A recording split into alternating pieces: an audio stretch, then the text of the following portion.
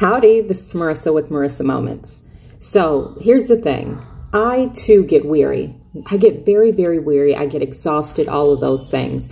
And it's easy to kind of slip and slide into that spiral of uh, depletion, depression, anxiety, angst, all of these things, right? Resentments, all of those things. When you're not feeling supported, you're not feeling heard, you're not feeling seen, all of these things, right? And I've been there right along with you because this is about you, this is about me, this is about we, right?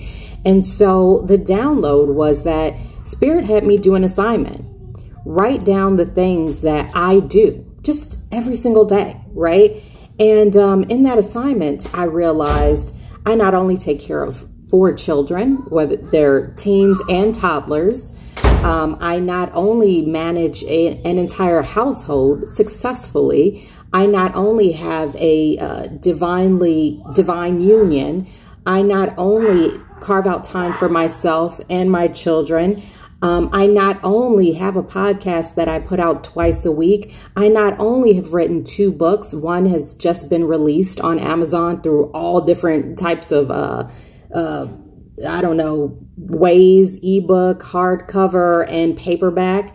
I not only, you know, managed to do all of these things and so much more, I've not only been able to survive uh, cl close encounters with death several times, I not only have been able to pull myself out of the darkness whenever the darkness tried to come for me, I not only am able to expand and um, increase the light of myself and those around me, I not only offer healing to myself as well as others, I not only, right? So the point of this is it may seem like bragging and who maybe it is, right? But sometimes we do have to brag on ourselves.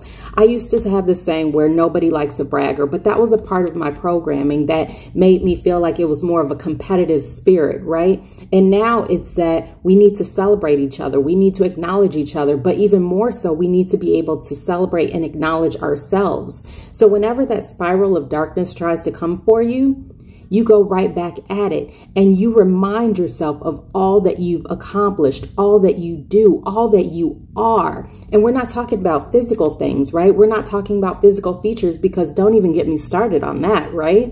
But we're talking about what it is that you've done. You. You may have had a little bit of assistance, but it's been you at the end of the day. So let's not allow ourselves to sh shrink, spiral, or downplay ourselves. It's time to come from the come for the proverbial throats of the things that try to bring us down. We've got this. You've got this.